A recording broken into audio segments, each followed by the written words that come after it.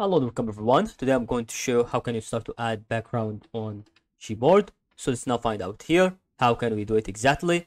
So all you have to do is to follow this video, subscribe to our channel. Okay, so all you need is just to go here on your phone and start exactly to go through um, through your Gboard settings.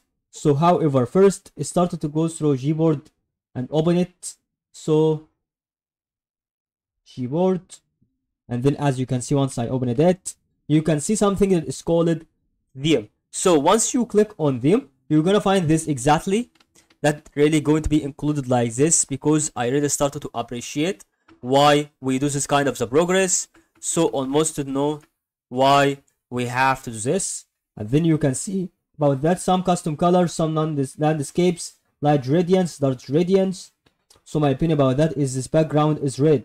So you can see here about applying that red. And that is almost about know why we do this kind of the stuff. So almost i started to edit half is white and the half is red. And i can think that is my promise about that is to apply it to black so or white.